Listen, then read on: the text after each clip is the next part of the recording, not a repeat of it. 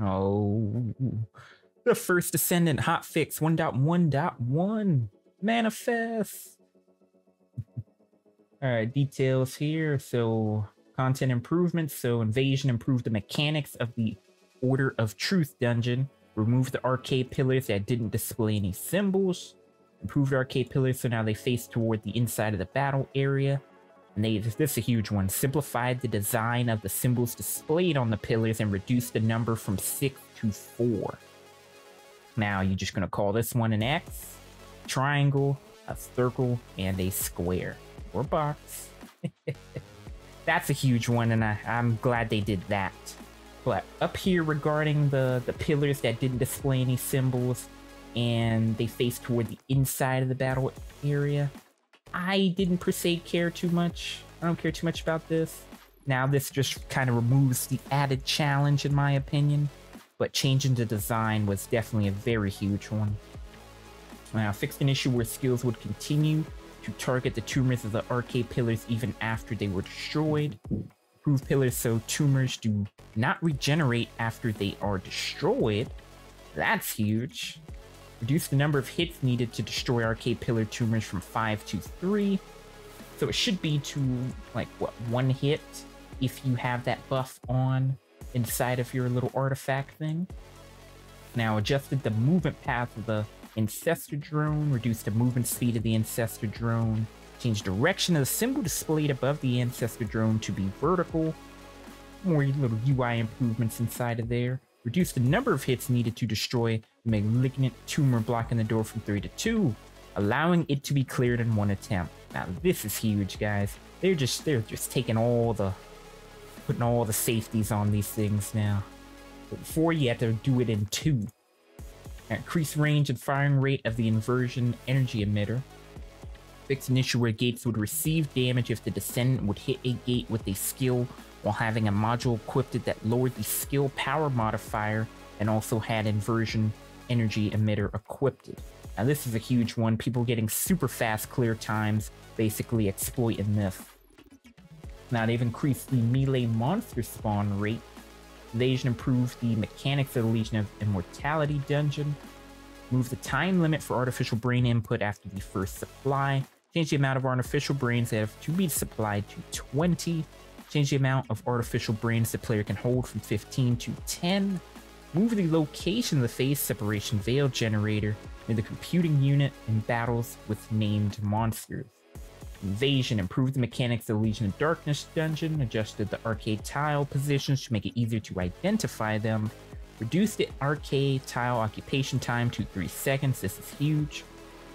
I'm gonna say it was maybe around 8 seconds prior. I'm surprised they didn't actually mention, you know, what it was before, and then down to 3. I think it was around 8 before. I simplified the color and symbols displayed on the arcade tiles, reduced the number from 6 to 4, another huge one. Oh. Remove the suicide bomber that would destroy the arcade tile. Since you guys just hate that. Reduce the spawn rate of raiders who would reduce the arcade tile occupancy. Change the symbols to stay on the arcade tiles longer after stepping off the central control unit.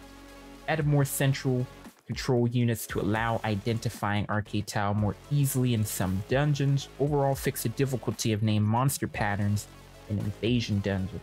Honestly, guys, a pretty much general overhaul, so everyone should be able to get Hailey a bit more and get those gold times better. And then reduce the frequency of skill use during immunity.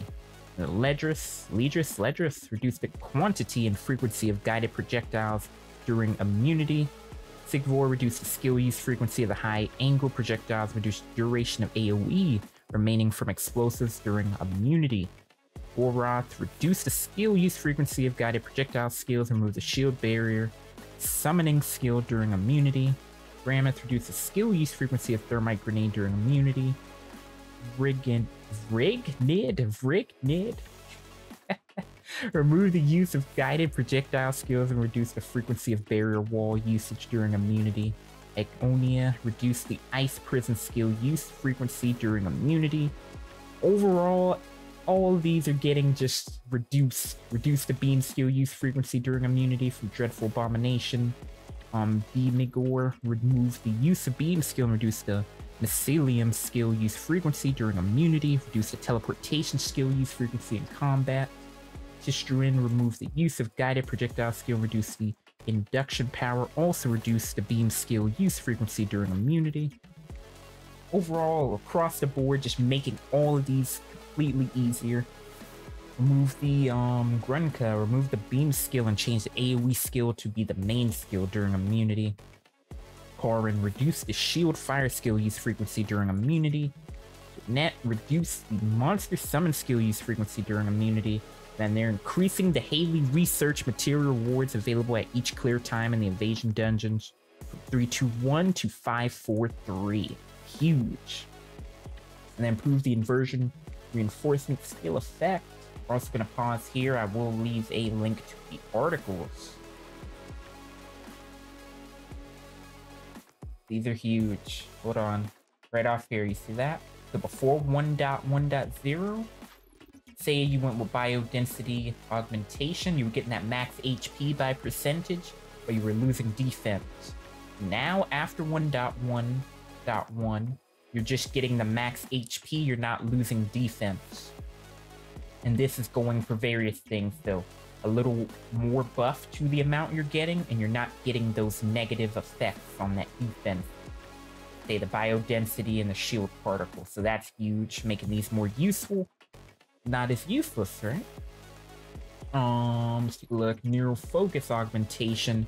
You're still losing that skill effect range, but you're getting plus one more on the max MP really here, I'll leave this up to you guys to pause, kind of skim through these a little bit. I got the inversion particle one here. You're getting more defense and you're not losing that max HP.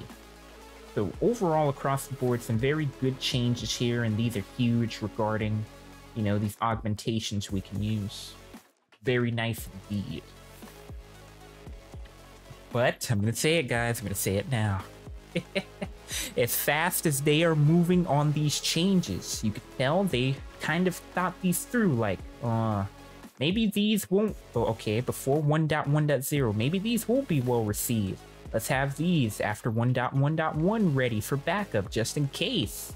Alrighty, let's implement them in, make them seem like we're working hard, we're hard at work. But they had all this stuff planned out. Uh, and literally everything they've changed, damn near everything. Look at that. Okay, the cooldown. They've changed the cooldowns on this one here. The inverted defibrillation. This is a huge one because when you died, you've essentially got a, a free respawn. You didn't die, you got your health back. And that's went from 25 seconds to 15. So now you can proc that even more often, as long as conditions are met huge changes across the board. I don't want to waste too much time on these.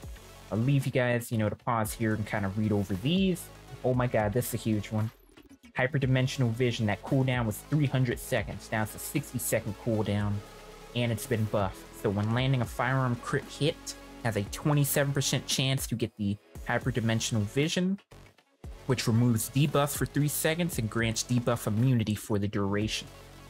Every 60 seconds, you have a 27% chance to proc it for 3 seconds. That is huge. More over here. And doing a little glance here, see some of the major ones kind of cover. Oh, this one here, unconsciousness. When all skills are on cooldown, it grants the unconsciousness cooldown on the next skill used minus 8%. Prior to this, it was 210 seconds. Now there is no cooldown of it. So when all skills are on cooldown, you'll get it, and still minus 8%. But now there is no cooldown to it. Wowzers. Alright, what else you got for us? Um, shield increase of overwhelming shield has been increased to 26.8% of max HP. HP increase of overwhelming HP has been increased to 19.8% of max shield. Decreased defense and HP of Pyromaniac Standard Hard and Intercept Battle. Also decrease HP and shield of the Hummingbirds which appear in Executioner and Pyromaniac Intercept battles? what? Excuse me? Decrease, decrease defense and HP of Pyro? And with Hailey, we're already damn near one-shotting him prior to this? now, skill score for defeating monsters in certain hard infiltration operations has been increased. You should be able to hit those at 29k threshold in Magister Lab much easier. Kingston, Magister Lab, Sterile Land, Unknown Laboratory, Fortress, Quarantine Zone. Yep, shorten the time required to interact with objects. There are miscellaneous bug fixes. This has been adjusted to start only after entering the large-scale outpost barricade. Fix an issue where incorrect text prompts were displayed when there's a nearby makeshift camp located in a different battlefield. Fix an issue in the voltage charge effect of Excava where the amount of max stacks incorrectly displayed. In The next stage, the enhanced unique ability screen. Other things across the board, some module changes. Something a turn with Jayber's turret zone. The effect range equipped with the turret zone would not expand as much as it should. Jayber still cannot catch a break. but they got on this one quick. And have fixed an issue where if Jayber has a turn engineering module equipped, the turn engineering skill could duplicate turret zones, and some director additional comments. Based on community feedback and data, the dev team analyzed the success rate of the invasion dungeons and adjusted difficulty of puzzles and battles against named bosses, essentially a wrap-up summary to everything and their changes. Although not yet included in the 1.1.1 update, we're also working on adding matchmaking to the invasion dungeons. We're committed to improving this feature so that you can enjoy invasion dungeons with your party as soon as possible, increase amount of rewards, Hailey's research materials, and invasion dungeons, and all that jazz. Leave you guys to catch up on this stuff. Pretty much just a wrap up of everything. And here, finally, in the second update scheduled for October 10th, plan on introducing infiltration operations of the highest difficulty we will continue to incorporate your feedback to ensure an even more engaging and fun battle experience. Awesome. Even harder infiltration operations. Get those builds ready, guys. Let's go. That is the 1.1.1 patch note hotfix summary. Thank you guys for watching. And remember to slay and conquer.